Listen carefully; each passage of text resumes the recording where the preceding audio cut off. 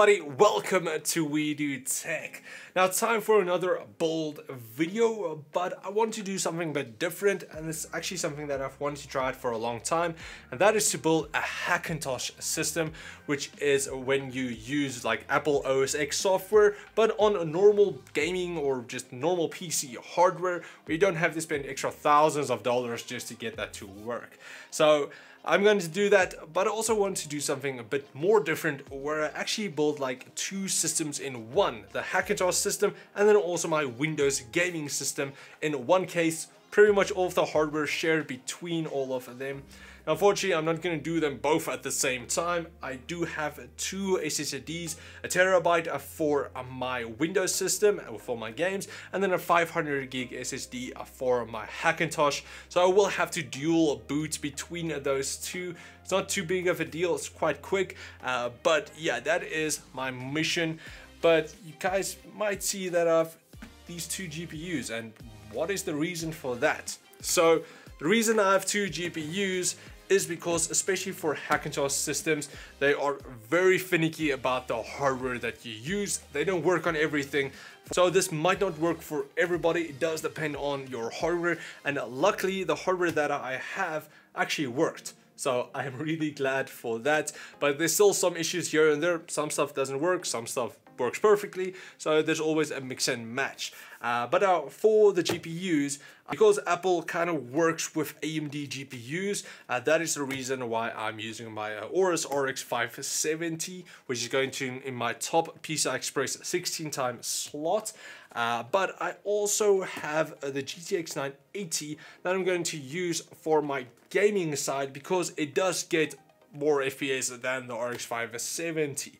But the problem is I am going to have to run this one at my bottom PCI Express 16 times slot but it's only a 4x speed slot. So kind of losing a bit more performance there, but as you guys will see, I don't really lose uh, that much more. Uh, and especially for gaming, uh, this one is better than this one. So that is why I'm kind of using these two. Can quickly switch between them and just get the best of both worlds. But I'm just quickly going over the rest of the hardware using the Asus TUF Z370 uh, uh, Plus gaming for my motherboard. Pretty good motherboard for the price.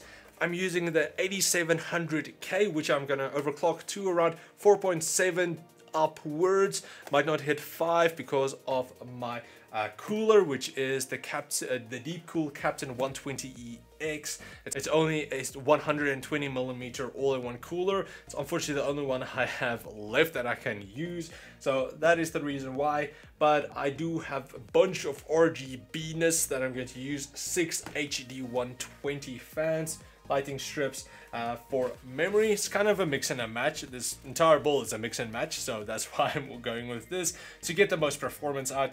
I've got a two 16 gig kits of Corsair Vengeance memory. The one is the Pro version, which is white and then uh, the other one is just a normal RGB version which is black so mix and match but still going to look cool uh, and then for power supply I have the Antec True Power Classic uh, 750 watt which is a gold rated power supply which is going to be enough to handle all of the hardware even with these two GPUs. And then just finally for the case, I am using the Corsair Obsidian 500D with its dual tempered glass side panels that looks really cool. But uh, that's pretty much all of the hardware that I'm going to use. Let me know so far down in the comments if you're excited for this build. What are your thoughts on like a dual system?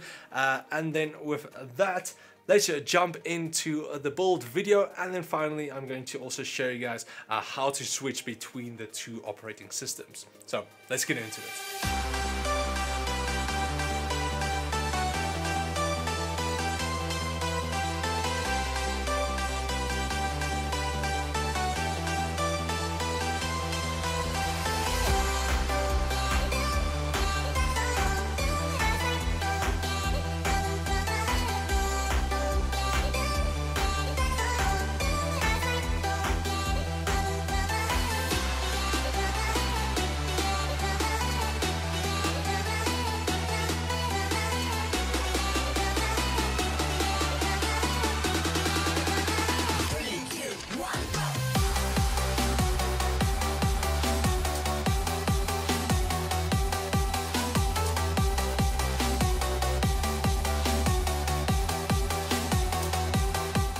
Okay, so the motherboard's and the power supplies and the power supplies connected so far. Not entirely yet, we still need to do the GPUs. So we have the Aorus RX 570 and then our EVGA GTX 10, uh, 980. I wish it was a 1080.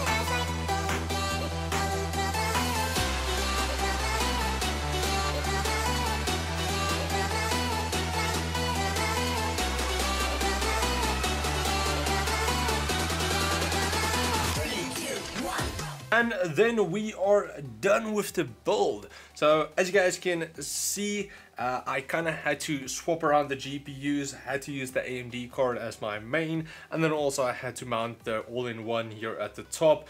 Couldn't fit it in the front because the pipes weren't long enough, so that kind of sucked.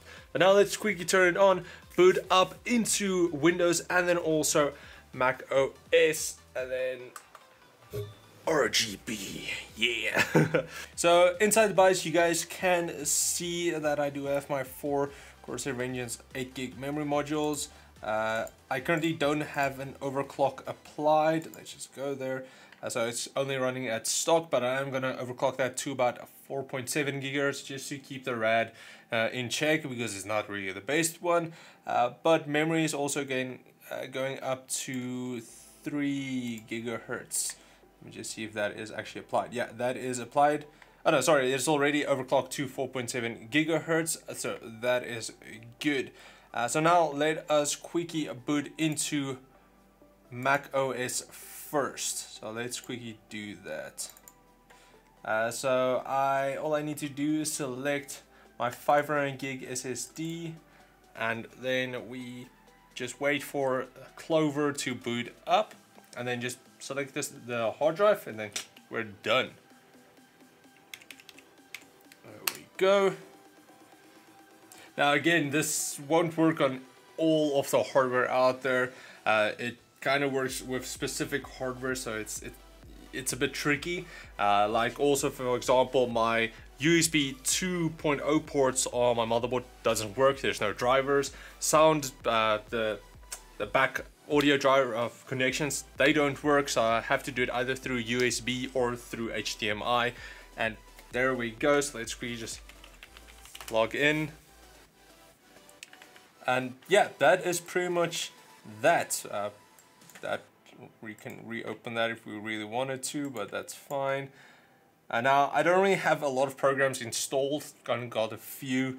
So uh, yeah, that's pretty much it also, I don't think my wireless drivers, I need to still fix that. So I'm currently using just a, a USB TP-Link wireless adapter. I kind of need to find the drivers and get that to work. So it is a work in progress thing, the, the entire Hackintosh. There's always going to be some problems uh, getting up. So yeah, uh, hopefully it's not really anything too crazy. I from all that I've actually been able to do, uh, like I've worked on uh, Final Cut Pro for a bit and so on, uh, I didn't work really well, so I don't really have that that many problems. A lot of people do have a lot of stuff that don't work, like their their graphics cards uh, and so on. Uh, but luckily, I don't really have that problem. So here it is, uh, works pretty well. And now let's quickly restart and then go into Windows.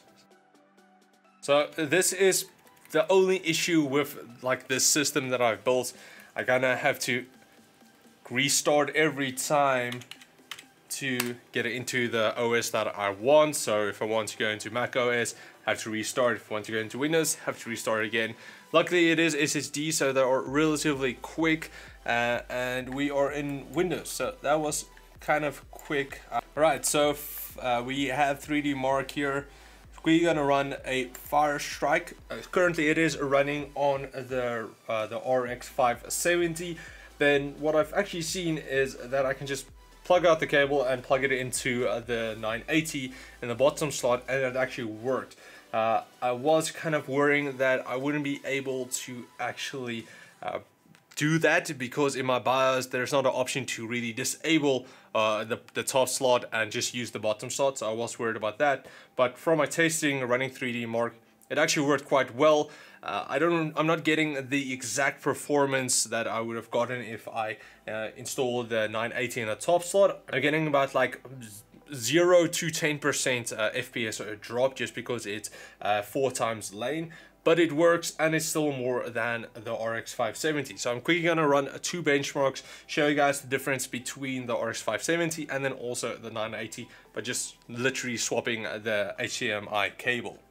So then for our score with the RX 570, we're getting a total score of 11,467 with a GPU score of 13,030 and a CPU score of uh, a physics score of 21,151. Uh, so that is pretty good and you guys can see here hopefully the camera can pick that up uh, Radeon RX 570 series at the top and then NVIDIA 980 at the bottom. So let's quickly swap them around and then see what we get. So literally all I need to do take that out plug it in and then it starts back up.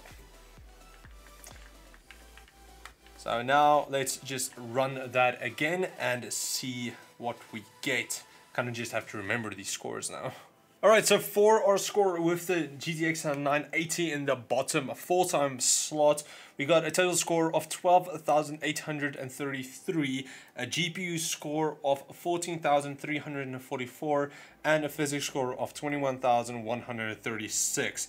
So the physics score is a tiny bit lower, uh, but with like two, uh, 20, 20 points, but the GPU score is up with like 1,300. So that is a tiny bit higher, not like crazy.